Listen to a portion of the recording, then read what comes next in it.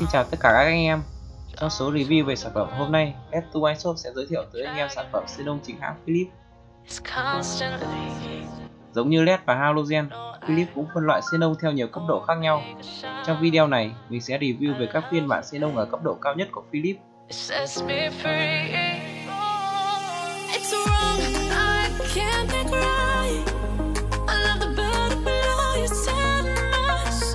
Đầu tiên phải kể tới phiên bản sáng nhất của Xenon Philips hiện tại. Philips Extreme Vision tăng sáng 150%. Phiên bản phổ biến tiếp theo là Ultinon 6000K.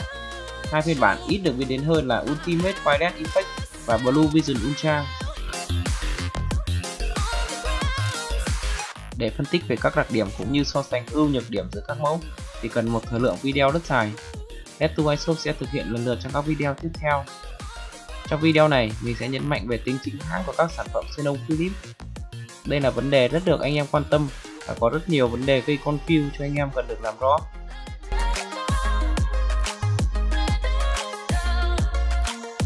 Đầu tiên, một sản phẩm chính hãng Philips bao bì phải luôn được dập đầy đủ các thông tin liên quan tới hãng. Philips sử dụng tem check code để verify các sản phẩm của mình. Đây là căn cứ tốt nhất để xác nhận cho một sản phẩm Xenon có phải của Philips hay không khi quét mã QR sẽ link đến trang Authentic của Philips. Anh em cào lớp mã code và nhập vào. Nếu đúng sản phẩm chính hãng sẽ có một thông báo Verify hiện lên. Bên shop cũng đã đăng tải video hướng dẫn về cách kiểm tra này. Các sản phẩm được đóng gói với bao bì Philips và có tem check code sẽ ít có khả năng là hàng nhái. Bên mình làm việc với Philips trên tất cả các dòng sản phẩm từ halogen, LED và xenon trong thời gian rất dài nên khẳng định điều này.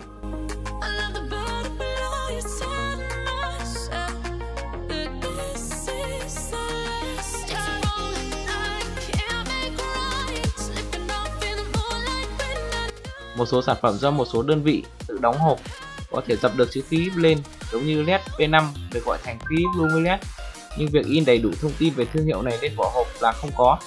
Việc có được tem check code của hãng thì lại càng không thể. Điều rất quan trọng tiếp theo là nguồn gốc sản phẩm. Tất cả các mẫu xenon hiện tại của Philips đều được thiết kế và sản xuất trực tiếp tại Đức. Đây là sự khác biệt giữa LED và xenon của Philips. Các sản phẩm LED hầu hết được thiết kế ở Đức nhưng được gia công thành đèn tại Trung Quốc, Hồng Kông hoặc Đài Loan. Kể cả các mặt hàng chỉ được phân phối riêng cho thị trường Mỹ và châu Âu, nhưng Xenon hiện tại chỉ được sản xuất tại Đức.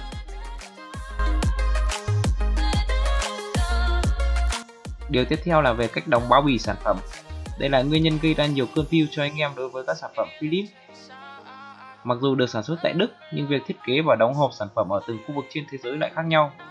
Mỗi thiết kế do đơn vị nhập khẩu của Philips tại khu vực đó quyết định châu Âu, Nga, Mỹ, Hồng Kông, Nhật Bản thường sử dụng các vỏ hộp khác nhau cho cùng một sản phẩm xenon Philips. Ví dụ, sản phẩm xenon Ultinon 6000K đều được sản xuất tại Đức, cùng do Lumiled Nhật Bản nhập khẩu, cùng một mã sản phẩm 85122W XX2. Đây là phiên bản được phân phối cho thị trường nội địa Trung Quốc, Hồng Kông. Trong khi phiên bản này chỉ được phân phối ở Nhật, hai phiên bản sẽ có bao bì khác nhau. Cùng phiên bản này, ở châu Âu lại sử dụng bao bì khác nữa.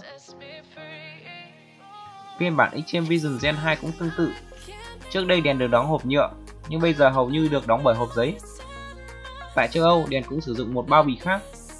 Tuy đóng hộp khác nhau nhưng thiết kế và chất lượng sản phẩm đều như nhau do nguồn gốc cùng một nhà máy của Philips.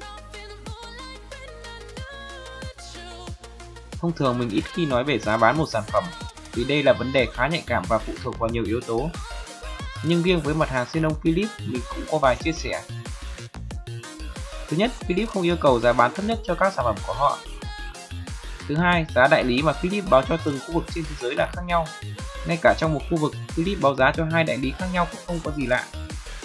Ngoài ra mức độ cạnh tranh trong việc bán hàng cùng với đặc tính hàng hiệu với mức giá cao của Xenon Philips khiến cho mức giá bán của Philips có khoảng chênh nhau tương đối lớn. Tuy nhiên, việc mức giá Xenon Philips tại Việt Nam đang bị đẩy lên quá cao, một phần là do sự bắt tay nhau làm giá của một vài đơn vị phân phối. Đây là một vấn đề nhạy cảm nên shop sẽ không đi sâu thêm trong phần 2, mình sẽ so sánh các bản xenon Philips hiện tại với nhau và phân tích sự khác biệt của xenon Philips với các mặt hàng xenon Trung Quốc hiện tại.